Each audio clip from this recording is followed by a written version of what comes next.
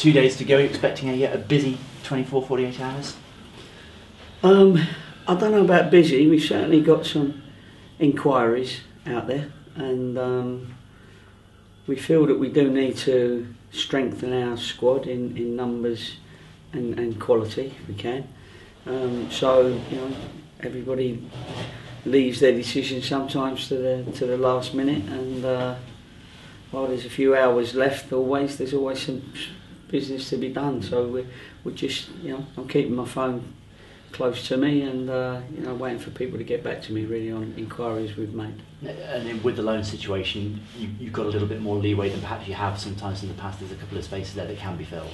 Yeah, there is. I mean, you're only allowed five loans in your squad on a, on a, in, in any game.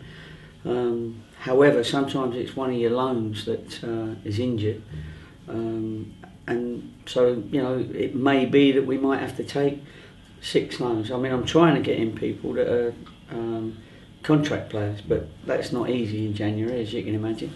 The good ones people don't want to lose, and um, and the good ones that people don't mind losing have got quite a few clubs after them, so uh, it might have to be uh, a loan. But anyway, that's you know the business is not finished yet, but at the, at the moment um, I can't tell you exactly.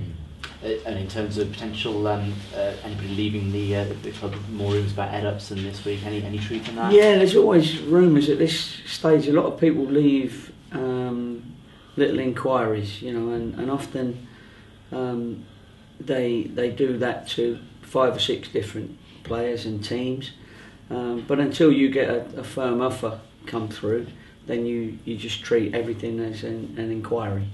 So no potential departures at the moment, but it's. It well, we've had no firm offers. There's been you know talk about certain players, one or two players that names have cropped up, but um, you know until we get a firm offer, it really is only still hearsay and inquiry. Yeah, and, and especially given the loan situation, to lose a permanent player and bringing a loan is going to cause you potentially issues. So you, whether you'd say yes or no at this stage is a, a difficult decision to make. Yeah, yeah, but you've got to make them decisions. You know, we, we're in a we're in a situation at this football club where, um, and other football clubs are in this situation that are around us in the table. You know, it's it's very difficult to re-sign your players that are in contract because most of those players are already at the highest point of their wages for this football club in the championship. So we could only offer them the same, um, give or take a couple of pounds, but certainly not, you know, making it uh, worthwhile anyone signing straight away.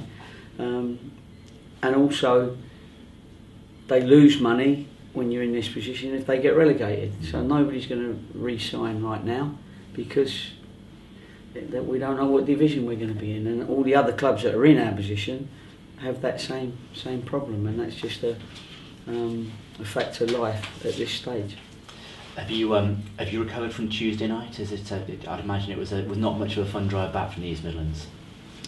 No, it wasn't, and um, especially when the motorways are closed and all that. You know, as most people would have found out about that M42, it's a disgraceful situation. That, by the way, just to it's It's a disgraceful this situation that people can just shut roads and you only know about it when you get there.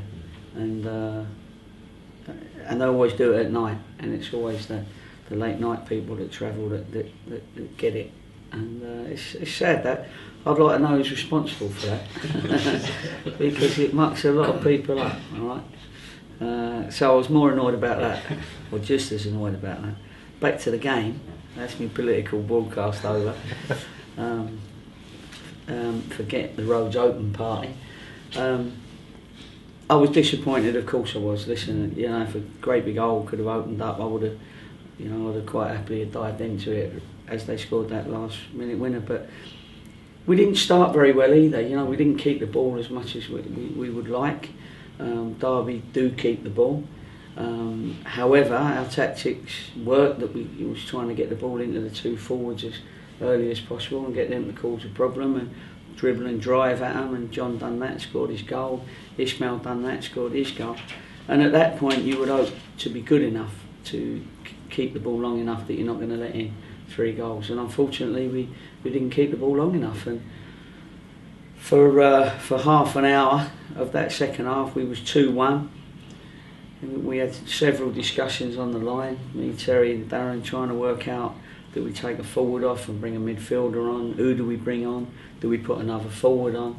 Do we tell them to lump it forward? You know, but at that they were getting more and more um, runs of attacks, if you like, with their quality and their way of, of doing things, and we just had to try and handle it individually and, and man for man, make sure that they they didn't beat us man for man, but unfortunately they did in that last uh, you know 10 minutes, 20 minutes, and uh, we made the change with all good intentions, and uh, unfortunately it it, uh, it didn't come off for us. And in hindsight, who knows if we'd have made a different change? But you got to make a decision. We decided to put in another midfielder because at that time we was camped in our you know, and they were getting a lot of ball just outside the box. So we thought another midfield player might just help us.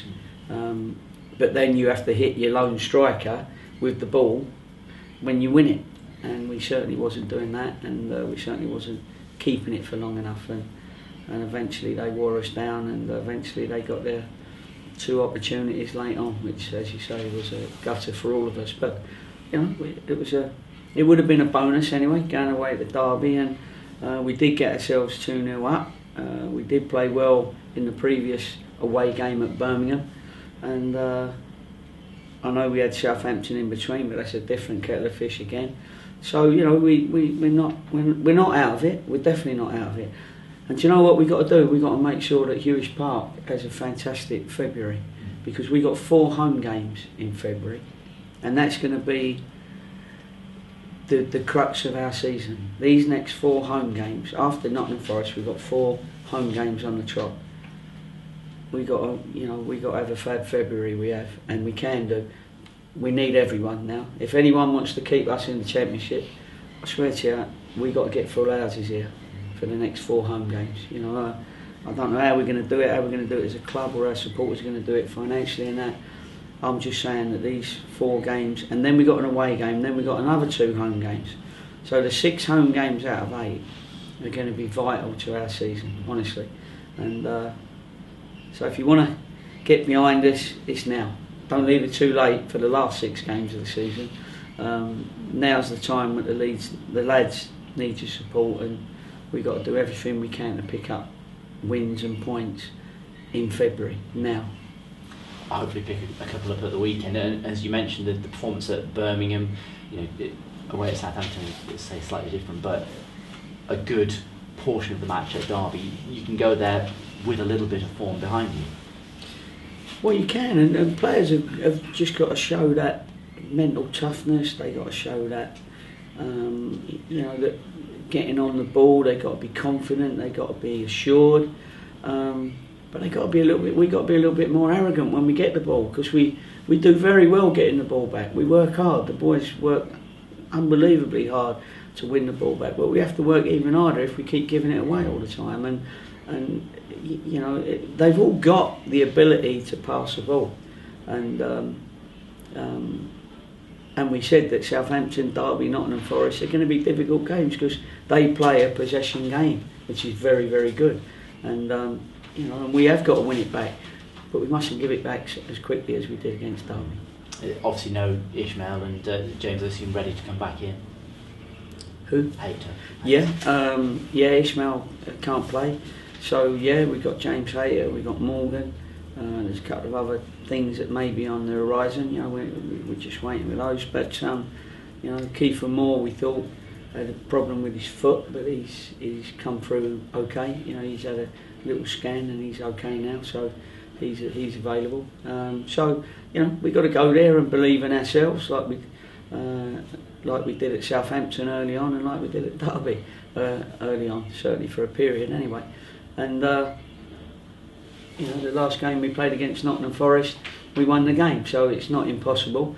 Um, Nottingham Forest will will have a score to settle, of course, but uh, they've got other fish to fry as well. They're up there in fourth or fifth place or something, you know, and they're up there on merit. Credit to them, and uh, it will be a very similar game to the Derby game, where they have a possession game that if you let them have it and you and you watch them play, they're going to be very very good.